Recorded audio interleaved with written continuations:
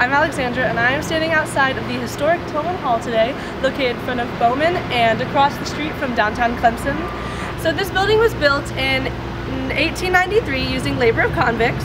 It was originally called the Main Building or the Agricultural Hall, but then came to be known as Tillman Hall, named after Benjamin Tillman, who was a governor of South Carolina and a member of the U.S. Senate from 1895 until his death in 1918. So what most people don't really know is that Benjamin Tillman um, was known as one of the most vitriolic racists in the U.S. Senate. He was a big opponent of civil rights for African Americans and was even known to speak down and about how, down to African Americans and about how he um, has killed them before on the Senate floor.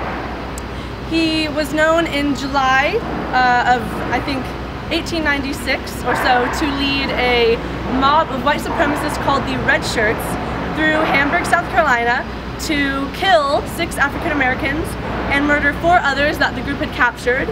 Um, and because of Benjamin Tillman's horrible racist history, um, many students have actually spoke up about the fact that this building is still named after him and still carries the weight of his actions.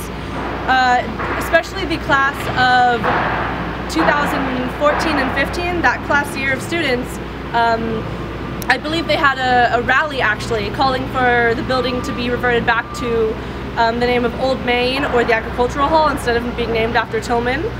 Um, they wrote letters to President Clements and they have made online petitions, but so far the university has said that only the Board of Trustees can change the name of Clemson. So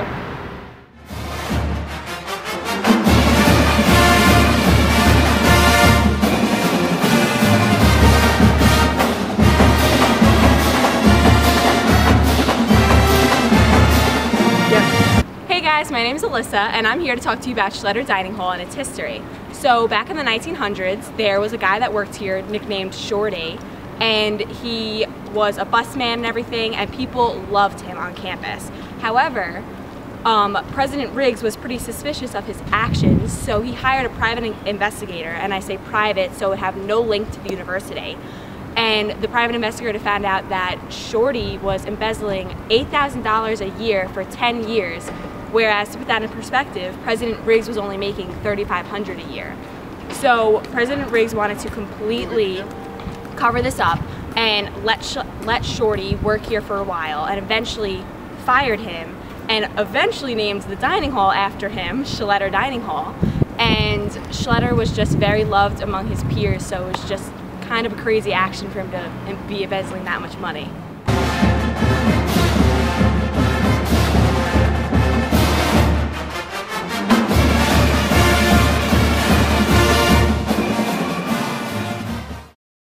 Guys, I'm Chloe and I'm here in Brackett Hall outside of the Gantt Multicultural Center named after Harvey Gantt and his wife Lucinda. Harvey Gantt was the first African American accepted into Clemson University. Now Harvey's journey to Clemson was not as easy as we have it today. Back then, Clemson was a racially segregated school and would not allow Harvey in at his first try. He first started studying architecture at Iowa State University, but wanted to go to the first, the he wanted to go to the in-state college that had all of his courses. After years of fighting, January 16, 1963, Harvey Gantt was finally allowed into Clemson. Because of his journey, he changed the viewpoints of Clemson and how people got in later years.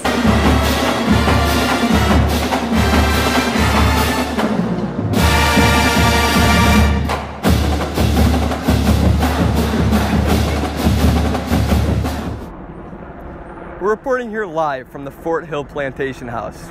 This house is an historical landmark of Clemson University, and the story this house holds is an interesting one. The original house was built as a four-room home by Pastor James McKinley. It was called Clergy Hall. In 1825, John C. Calhoun and his wife Floride Calhoun moved here from Washington, D.C. At the time, John C. Calhoun was serving as the Vice President of the United States. He, in, he rented this property from his mother-in-law, and he and his wife had 10 children. This house was renovated to a 14 room home to accommodate this large family. In 1836, Mrs. Calhoun died, leaving her, the plantation to her daughter Floride. Both her and her husband were on the title of this estate. John C. Calhoun began purchasing land around this estate, amassing a total of 1,100 acres. In 1838, Thomas Green Clemson married Anna Marie Calhoun, daughter of Floride. Two years later, the Clemsons moved to the Fort Hill house and lived with Anna's family for five years. In 1850, John C. Calhoun died, leaving everything to his wife, Floride. At this point, the plantation grew to 1,300 plus acres. In 1854, Floride sold Fort Hill to her eldest son, Andrew. Floride died in 1866 and willed most of the Fort Hill plantation to her daughter, Anna Clemson. In 1872, Thomas and Anna retired to Fort Hill. When Anna passed away in 1875, she left Fort Hill to her husband, Thomas Green Clemson, along with the passion to establish an agricultural, an agricultural and a mechanical college for the state. In 1888, Thomas Green Clemson passed away and willed the property to the state.